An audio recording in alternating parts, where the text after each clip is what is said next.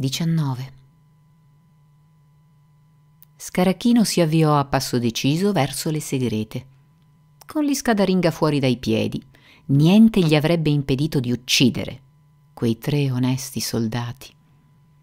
Aveva intenzione di sparare loro di persona. Poi ci sarebbe stato tempo a sufficienza per inventare qualcosa. Magari avrebbe messo i loro corpi nella camera blindata dove erano conservati i gioielli della corona per poter dire che avevano cercato di rubarli. Scaracchino aveva già la mano sulla porta delle segrete quando una voce parlò piano nell'ombra alle sue spalle. Buonasera, Lord Scaracchino. Si voltò e vide Lady Eslanda, con l'aria seria e i capelli corvini, che scendeva da una buia scala a chiocciola. È ancora sveglia, milady? disse Scaracchino inchinandosi. Sì, disse Lady Eslanda, con il cuore che le batteva forte, forte. Io non riuscivo a dormire e ho pensato di fare due passi. Non era vero. In realtà, Eslanda stava dormendo benissimo nel suo letto quando era stata svegliata da un frenetico bussare alla porta della sua camera. Era Bertina, la cameriera che aveva servito il vino a Scaracchino e ascoltato le sue bugie su Augusto Bottone. Bertina si era talmente incuriosita dopo aver udito quella storia che era andata in punta di piedi fino alla stanza della guardia e, accostando l'orecchio alla porta, aveva sentito tutto quello che era successo quando i tre onesti soldati erano stati trascinati via, era corsa a nascondersi. Poi si era precipitata di sopra a svegliare Lady Eslanda. Voleva aiutare quegli uomini che stavano per essere giustiziati. La ragazza non aveva idea che Eslanda fosse segretamente innamorata del capitano buonuomo. Era solo quella che le piaceva di più fra tutte le dame di corte e la conosceva come una persona gentile e intelligente. Lady Eslanda le aveva dato delle monete d'oro e le aveva detto di lasciare subito il palazzo, perché temeva che la ragazza potesse essere in grave pericolo. Poi si era vestita con mani tremanti, aveva preso una lanterna ed era corsa giù per la scala a chiocciola accanto alla sua camera. Prima di arrivare in fondo, aveva sentito delle voci, aveva spento la lanterna e sentito l'isca d'Aringa ordinare che il capitano buonuomo e i suoi amici fossero portati nelle segrete invece che essere fucilati. Da allora era rimasta nascosta sulle scale perché aveva la sensazione che il pericolo che minacciava quei tre uomini non fosse passato. E infatti ecco Lord Scaracchino che si dirigeva verso le segrete con una pistola. Sa dov'è il primo consigliere? chiese Lady Eslanda. Credo di avere sentito la sua voce poco fa. L'iscadaringa è andato in pensione, disse Scaracchino. Davanti a lei c'è il nuovo primo consigliere, milady. Oh, congratulazioni, esclamò Lady Eslanda, fingendosi compiaciuta invece che terrorizzata. Quindi sarà lei a presiedere il processo ai tre soldati nelle segrete, vero? Lei è molto ben informata, Lady Eslanda, disse Scaracchino, guardandola attentamente.